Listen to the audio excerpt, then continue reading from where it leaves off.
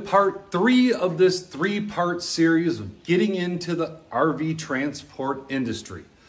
Now we're heading to the Secretary of State, might be called the DMV in your state, and we're going to get our 26,000 pound registration. So let's go.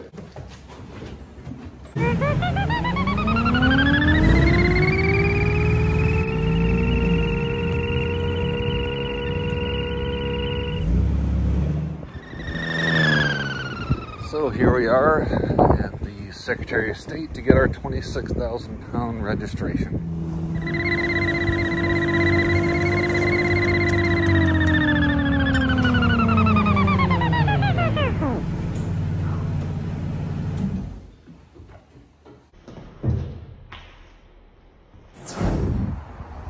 So here it is.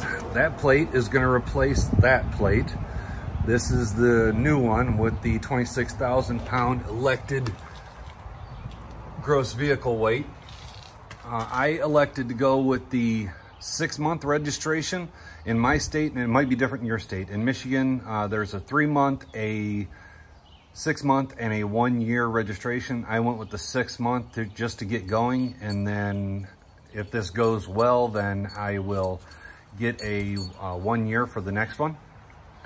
Uh, relatively painless besides, you know, the cost. It was 350 bucks for the plate. Damn! So the only thing left now is to lease on with the company and get the unladen liability insurance. I already have a quote for that. I haven't signed the binder or uh, paid the entry fee. You have to pay a uh, first month and a and a deposit. It's kind of like a first and last month. You make two payments and then I'll be all set. So now back on the road for another part of this puzzle. I've passed my background check and my um, driving record check. Got all the paperwork and everything in order. The last things that I have are the drug test and orientation. And this is something that I probably should have talked about in the first video, but I didn't really think about it because it, it's not a big deal to me, but it might be a big deal to some people. Uh, yes, there's a drug test. I don't know of any companies that don't have a, uh, a drug screening. Uh, all of the big ones do even all the small ones that I've talked to, they all have drug screening. It's uh, for me, it wasn't a big deal. I didn't really give it much thought, but if you are someone that partakes in the 420, ah man, that's some heavy shit, man.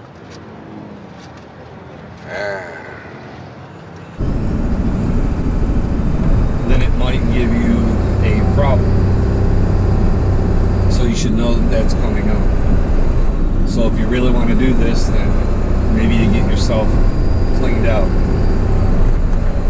Uh, but I'm heading down to get my drug test now at a local drug test facility. The company that I'm leasing on with does them locally, so they contract with companies that are by you, so you just go get it wherever you're at. Some of the companies do it the day of orientation or the second day of orientation. That my company uh, doesn't do it that way. They do the drug screening prior to you coming down for orientation or up or whichever direction you're coming from. So that's what we're doing now. Heading down for drug test. So, been drinking my water. So I can produce and get this over with. So here we are at uh, Advanced Drug Testing LLC in Cheboygan, Michigan. Uh, just went in and out. Took five minutes probably to do the whole test. So now we just have to wait for the results. I know what the results will be. They'll be clean, but gotta wait for my company to get the results. Something I should mention is that the hauling companies, they don't care what state you're from. They don't care if it's legal in your state or or you have a medical card or whatever. They don't care about any of that.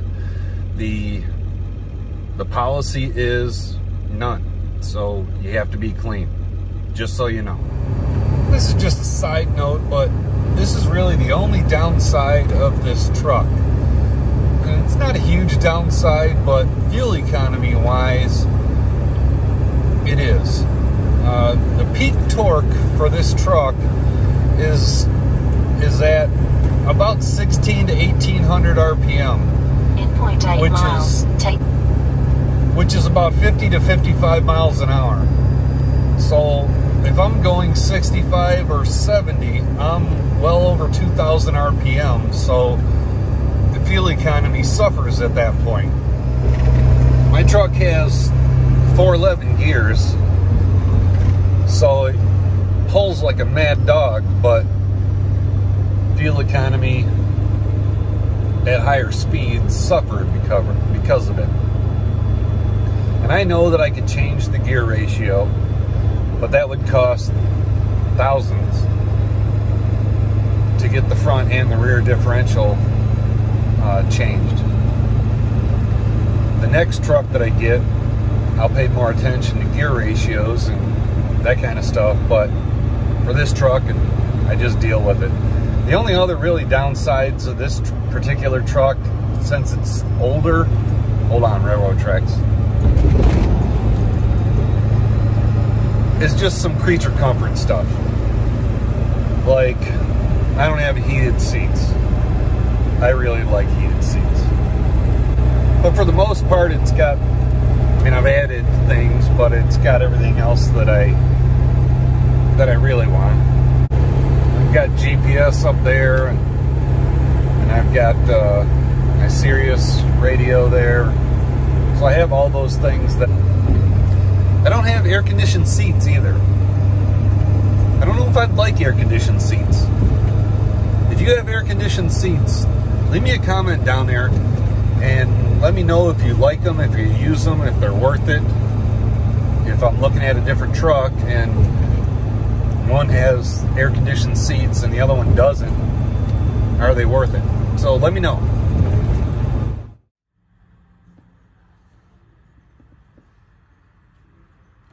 Okay. I gotta go. You gonna miss me? Next time you can go. You're sitting this one out. And we are back. And we are cruising down the road, headed to Goshen for orientation. We've been on the road for about five hours and 15 minutes now. We're almost ready to cross the Indiana border. I don't know where I'm at. Did run into one problem. I sold my fifth wheel hitch and I figured I'd pick one up on the way down. Who knew it'd be so hard to find a fifth wheel hitch? I stopped at every um, what are they? The Campers World and General RV between the north part of Michigan and the south part of Michigan, and nobody has any in stock. Great. So I have no fifth wheel hitch. Hopefully, everything will still go okay tomorrow, and they'll let me do my orientation. Who knew you had to frickin' order everything that you want in the world nowadays online? I'm gonna try to get this video edited and uploaded tonight while I'm sitting hotel room. And then hopefully the next video you see from me will be a first load with the new company. I'm excited to get rolling again and get out on the road and see this beautiful country of ours.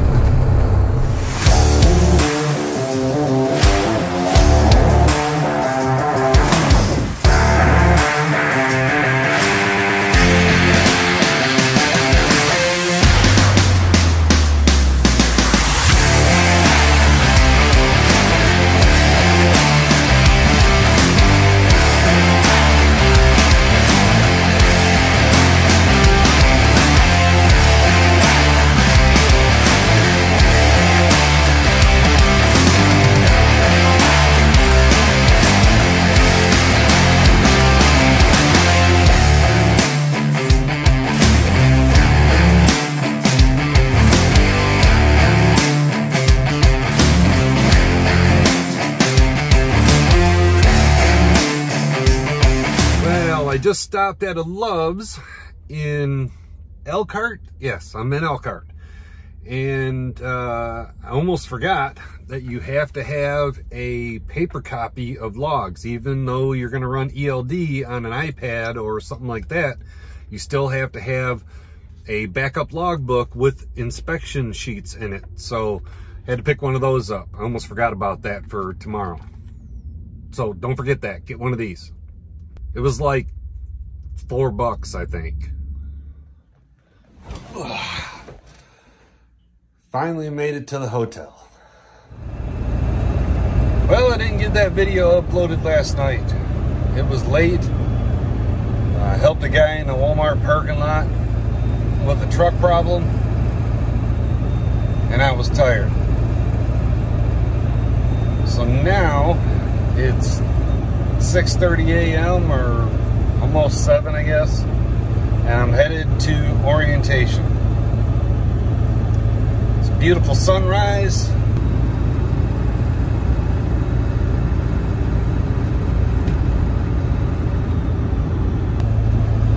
Driving through Amish country. Just kind of dodging the Amish buggies. Yesterday I saw an Amish kid, well, teenager, on a bicycle being pulled by two horses. Now, I come from some Amish country, and I've never seen that before. That was a new sight. I still don't have a fifth wheel hitch. Like I said, I'll have to pick one of those up, hopefully at lunch, or maybe they'll let me slide by for now. We'll have to see how that goes. I did pick up a new fifth wheel hitch. Ended up with a 24,000 pound when I went in to get a 20,000 pound. Really like it. I'm never going to haul anything that's 24,000 pounds, but, well, who am I kidding? I wasn't going to haul anything that was 20,000 pounds. But, uh, got it for an awesome price from Dually Depot there in Goshen. Uh, lady, I forget what her name is. I'm sorry if you're watching this, but she was awesome. You got to go in there and check out Dually Depot. I mean, she even helped me load it into the bed of the truck and was trying to set it up for me when uh, I told her, I said, I can get this. And she said, well, I'm just trying to be helpful. And then uh, they threw in a set of pins to pinned into the bed and a, uh, one of those Teflon discs that, uh, that go on the fifth wheel.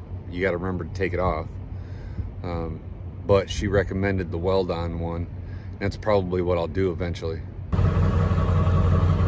Well, we made it. Picking up this unit, going to Escanaba, Michigan.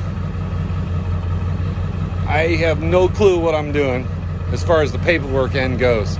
Hooking it up and all that, that's the easy part. I got to figure out how to do the paperwork the right way. So it's going to take me a while to get out of this yard.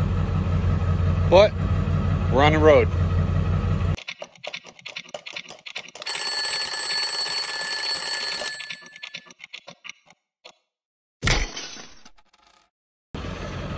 Well, it took me about 25 million hours, but we're hooked up. Holland Paws is ready to go. And here we are. Got our first load back there. It's a 27. Speak command. Stupid GPS. Anyway, I think it's a 27 or 29 foot Salem. And I can for sure say that travel trailers suck worse than fifth wheels. Every truck that goes by pushes this thing around. Maybe it's because it's so light. I'm not really sure. But it's getting pushed around a lot. Excuse me. When a, uh, when a vehicle goes by, like a semi or a even just a full-size pickup truck with a trailer. You can feel it push that trailer around. It's not hauling bad, barely tell it's there. Wiggle thing. Learn the ELD. Hopefully I won't screw that up. Got another, I think, six hours that I can drive before I have to take my 30 minute break. Totally destroyed my bed back there by just throwing stuff in there because I was in a rush to get things done. So like my torque wrenches up there and everything else, I'll have to straighten that out before I go to sleep tonight. But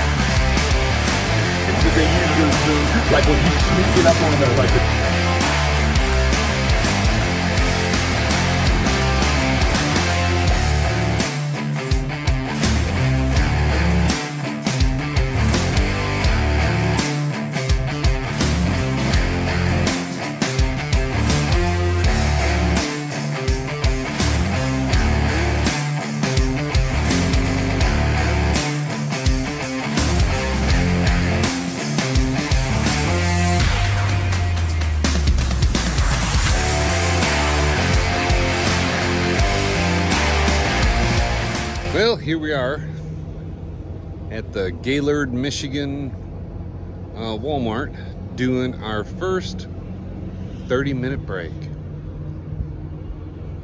I think I'm gonna turn it into the 10 hour though. Uh, I think I'm gonna run out of time to be able to get home. I can make it to delivery, but I won't be able to get home and I'll have to do a 10 hour somewhere in the middle of the day tomorrow. So math wasn't my strong point on this trip. I have to do better next time. So I don't know what's going on there. Anybody have a clue what that's all about?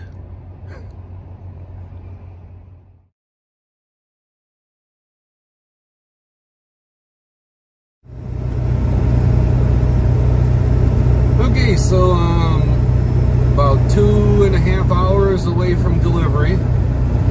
Have I mentioned how much I don't like travel trailers? It's not even really windy out, and it's still getting pushed around. It's 37 feet long, but it's just got a lot of tail wag in the wind. Hopefully we'll get up here where there's a little more tree protection and it'll block some of the wind, but I'm right off the lake shore, off the northern part of Lake Michigan. Going across the bottom of the upper peninsula of Michigan, headed to Escanaba. Here's something that you might want to think about. I was doing my uh, logging with the KeepTruckin app on my iPad. My iPad is not uh, cellular, and I don't have tethering on my cell phone. It's not on my plan. So I got an email this morning that said go in and update my logs from my dispatcher or the log person at my company. So I had to stop at McDonald's and get their Wi-Fi so I could do that. I didn't know I had to do that. I still learning. So I went in, you know, signed my day for yesterday, submitted what I what I guess I should send. I hope I sent the right stuff. I'm waiting for another email to let me know I sent the right stuff. But you might want to do your logging either on your phone or on an iPad uh, that has cellular or have tethering somehow. You know, hotspot on your phone. I'll have to look into that. I'm not sure how I'm going to do it. We have another iPad that's older that's got cellular that would work fine. I might just use it and pretty much just put the KeepTruckin app on it. That way, when I get a DOT inspection, I just hand them the iPad, and really the only thing on there is um, is like maybe the load board and the KeepTruckin app. Most of the other stuff I do on my phone anyway. I just thought it'd be uh, nicer or easier to have a larger screen to do the logging on. I'll have to see how it works on the phone. I haven't tried it on a phone. Maybe I'll just do it on the phone. But we'll see. Well, maybe the cellular uh, iPad will work better for things like Hulu and Netflix and that kind of stuff while I'm on the road. But honestly, when I stopped last night, I had plans on doing some video editing and kind of sitting around while I'm doing my 10 hour. Nope. I crashed out and I was out cold. I slept the best last night that I've slept in a long time. Right in the back of this truck super comfortable mattress. I do need a fan, so I'm going to pick up one of those Ryobi uh, battery-powered fans that'll work with the batteries that I already have, rechargeable ones. The temperature was was nice, I just didn't have any airflow, so and it was humid. So I think I'll get one of those fans, and then I would have been fine.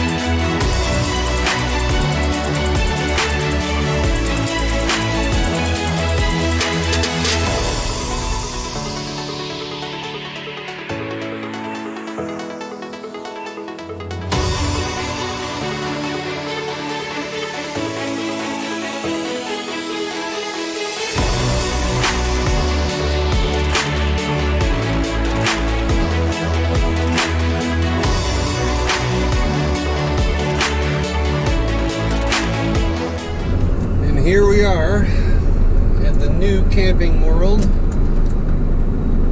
in Escanaba, Michigan. We'll see how this goes. Seeing that it's my first delivery.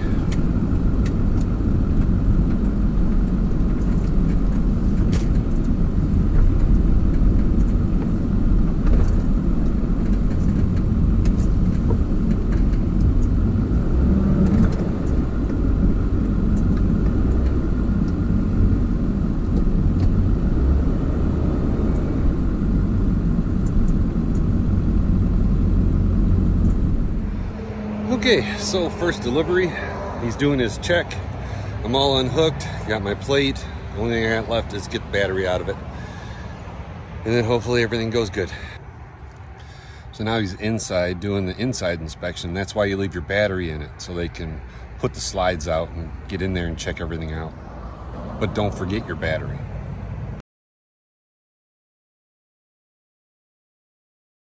We are in the home stretch getting ready to pull into home base here.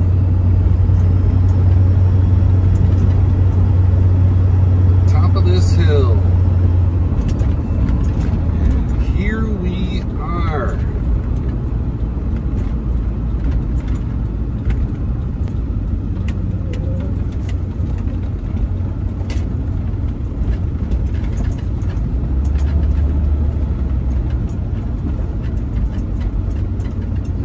That's the end of this journey.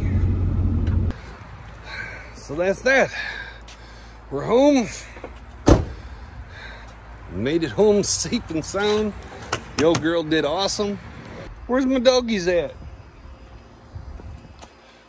They're up there, Oop, looking at me. In that window, you can see Kyber, the golden up there. Let's go see her.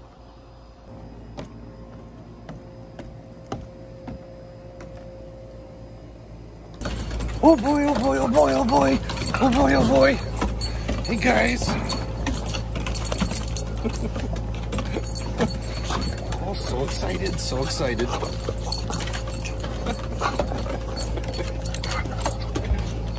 yeah, yeah, yeah. So anyway, that's the end of part three of the three-part series of getting started in the RV transport industry. My hauling pause. She did an awesome job. Daisy did what she was supposed to do. I'm home safe. Hope you enjoy these videos. If you do, then click the subscribe button, click the like button, leave a comment down below. We really would appreciate it. And as always, have safe travels and I'll see you on the road.